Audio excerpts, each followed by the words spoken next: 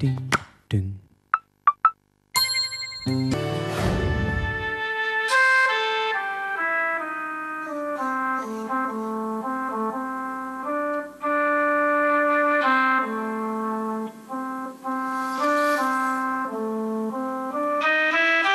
Lieve Karin, in korte tijd heb jij je onmisbaar gemaakt voor de Magic Flute. Met jouw tomeloze enthousiasme en liefde voor muziek ben jij voor ons een geweldig bestuurslid. Welkom. Dit bericht stond pas geleden in de krant. Karin heeft een enorme passie voor muziek. Maar ze heeft ook helaas een aangeboren spierziekte. En die twee dingen gaan natuurlijk in principe niet goed samen.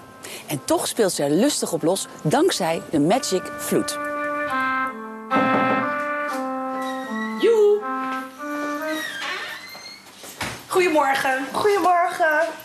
Was je lekker aan het spelen al? Jazeker. Hoi, ik ben Carolien. Hi, ik ben Karin. Nou, Karin, wordt een leuke dag. Ja, zeker. Ja. Maar ik wil natuurlijk eerst alles even weten over dit, nou ja, hoe noem je hem? De Magic Flute. Ja.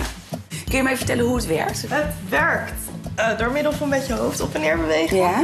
Als je je hoofd omlaag beweegt, dan gaat het noot omlaag. En als je hoofd omhoog beweegt, gaat het noot omhoog. Mm -hmm. Dus dan gewoon...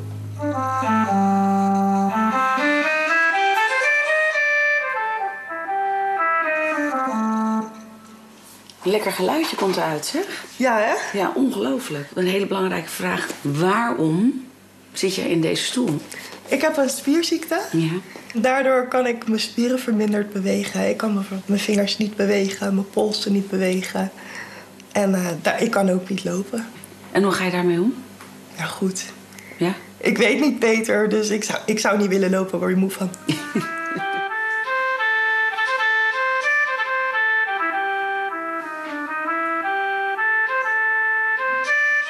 altijd al passie voor muziek? Ja, ik wilde heel graag mondharmonica gaan spelen. Alleen daar heb je heel veel longinhoud voor nodig. Mm -hmm. En doordat ik een spierziekte heb, heb ik ook maar 40% longinhoud. Ja. Dus dat kan niet. Dat is veel te veel, ja. Inderdaad. Dat is waar. Dus uh, en toen kwam de Magic Flute. Maar vertel even hoe het is ontstaan. Um, mijn muziekleraar die is oorspronkelijk begonnen als uh, zwemleraar. Ja. Maar had wel altijd al uh, contacten met bandjes. En hij nam dingen op in zijn eigen studio. En hij vond dat kinderen met een beperking te weinig zelf muziek konden maken.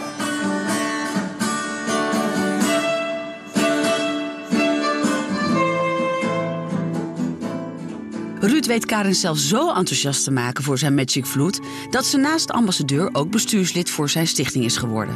Wat heeft Ruud jou gebracht?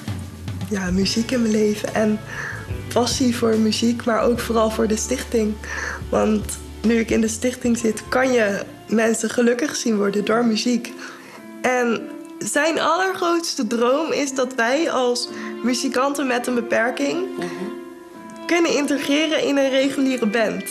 En het is gelukt, hè? We hebben de band kunnen regelen. Mook, een hele populaire band uit Amsterdam. Ja, heel gaaf. En daar gaan jullie mee spelen. Nou ja, dat, uh, hoe, hoe geweldig gaat hij dit vinden? Heel gaaf. Hij vindt het echt... Ik denk dat ik hem over vijf jaar nog steeds over deze avond ga horen.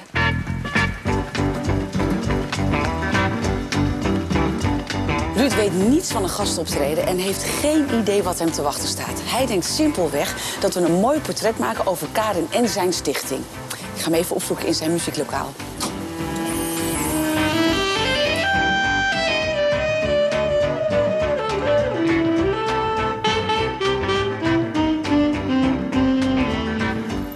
Jij moet Ruud zijn, dat kan niet anders. Ja, Hi, hoi, Hallo. Caroline. Hi.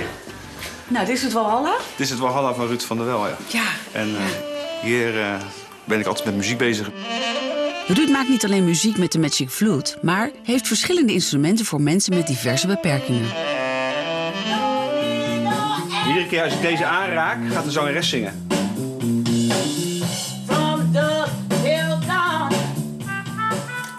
En nu houdt het op. Ja. Maar met het schakelaartje kan ik doorspelen. En in principe kun je alles wat er is aan bladmuziek nu spelen met één Ja. hand. Geweldig. Ja. Alleen maar omdat je één voet erbij gebruikt.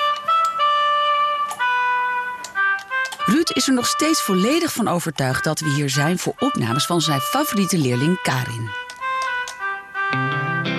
Karin heeft dezelfde drive als ik heb. Ja, dat geloof ik ook wel, ja. ja. Heb je een, een, een, betere band, hè, misschien onaardig gezegd, dan met andere nou ja, leerlingen? Ik heb met haar eh, een bijzondere band. Ja? Hoe zou je die omschrijven? De, eh, Karin die heeft gelijk vanaf het eerste moment ja gezegd tegen wat ik deed en wat ik doe met de Magic Flute. En op een gegeven moment bouw je dan de band met elkaar. Je kunt echt op haar rekenen. Je kunt altijd op haar rekenen. Ja, ze is echt wel... eh, Zij is voor mij het voorbeeld van hoe het kan. ja. En hoe het moet. Dankzij Ruud's uitvindingen kunnen veel mensen met een beperking toch muziek maken. En daarom wil Karin Ruud zo graag verrassen. dit is echt leuk. Ja. Heb je wel zelf door dat, je, dat jij dat verschil maakt voor heel veel mensen? Daar, daar denk ik liever niet te veel over na. Maar het is wel zo. Het is, dan, ja, het is wel zo. Eh, ehm, ja, ik weet niet goed hoe ik daarop moet antwoorden. Nee, Nee. omdat je heel bescheiden bent, Ruud. Ja. Hè? ja. Je doet mooie dingen. Ja, dat, eh, Ja, dat ja. mogen anderen ervan zeggen. Ja, Oké, dat heb ik nu net gezegd tegen Oké. je. Nou, Ruud denkt dus dat met dit interview ook het einde van het verhaal is. Maar niets is minder waar. Want de voorbereiding voor het optreden samen met Mook, Karin en de andere fluitspelers is in volle gang. En ik ga natuurlijk even kijken of ze er al klaar voor zijn. We hebben een van Nederlands meest succesvolle bands, Mook, hier te zien op het hoofdpodium van Pinkpop, bereid gevonden om Ruud de verrassing van zijn leven te bezorgen.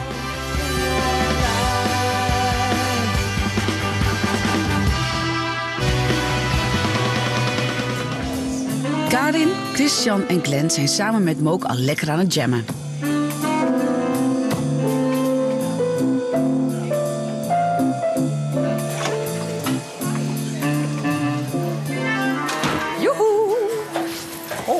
Hoe gaat het hier? Hoi. Ja, goed. Zenuwachtig? Weet je wel. Eerlijk. Ja? Ja, weet je wel. Ja. Ik ben heel benieuwd hoe Ruud gaat reageren. Ja, wat denk je ervan? Ik denk dat hij emotioneel gaat worden, maar dat hij het heel gaaf gaat vinden. En ik ga je vertellen, hij heeft niets, maar ook echt helemaal niks door. Nee, klopt. Hij denkt nog steeds dat het allemaal om jou gaat. Ja, en hij denkt dat de dag nu afgelopen is. Ja, precies. Ja, klopt. Leuk, hè? Ja, zeker. Maar ik ga nog even naar de mannen van de band. Jongens, wat geweldig dat jullie dit doen. Nou, graag. Ja? Ja hoor. Hadden jullie al eerder van een Magic Flute gehoord? Eh, wel een heel ander soort vloed, volgens mij. Maar eh, wat ik heb gehoord tot nu toe is het wel echt... eh, het is indrukwekkend. Ja. Ik. ja, ik hoor de jongens echt wel toonladdertjes spelen die ik alleen maar kan dromen. Ik zou zeggen, ik ga het podium verlaten. Jullie gaan lekker repeteren even met deze drie kanjers. En dan eh, gaan we wachten tot hij komt. Ja? Fijn dat jullie er zijn. Top. Fijn. En terwijl de laatste mensen binnendruppelen en iedereen klaar staat voor het optreden, ga je kijken of de hoofdgast al in aantocht is. Wat Ruud van deze verrassing vindt, dat zien we straks. Karin, Christian, Glenn en Mook zijn al helemaal warm gespeeld en het wachten is nu op de hoofdpersoon van de avond. Oké, binnen staat iedereen klaar voor de komst van Ruud. Zijn vrouw en kinderen zitten in het complot en hebben hem met een een of andere smoes hierheen weten te lokken. Dus hij is onderweg. Eh, nu maar wachten. Komt-ie.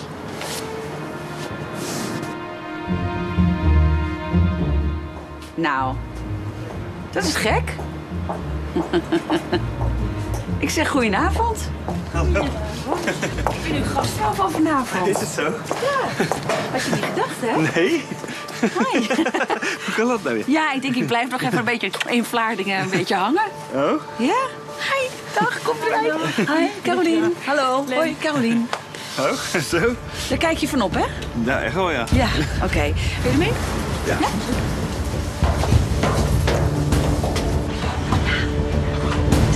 Zo?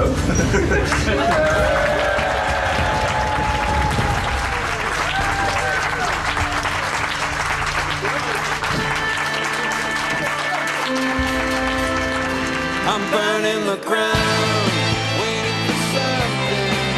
You can't be locked up, let me out. Been hanging around, stopping for nothing.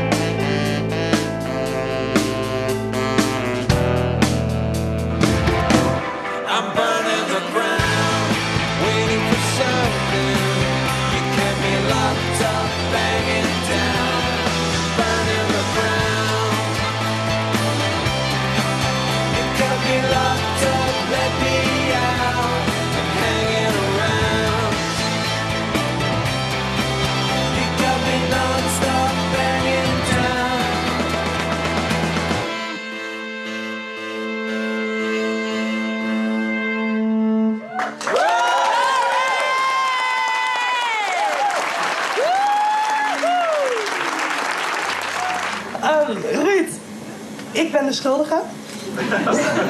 Hoe kon het anders? Ja, ik weet het. Ehm, jouw grote droom is, weet ik, dat wij als eh, muzikanten met een beperking gewoon mee kunnen spelen met een reguliere band. Nu ook nog gelijk Mook. Dus, Ook muzikanten met een beperking hoor. ook, ja, ook muzikanten met een beperking, maar die zie je niet. Dus dat...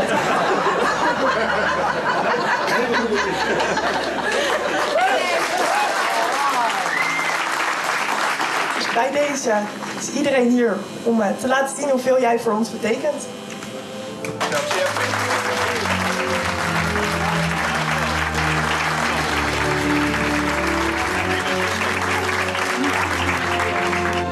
Nou, jullie allemaal bedankt.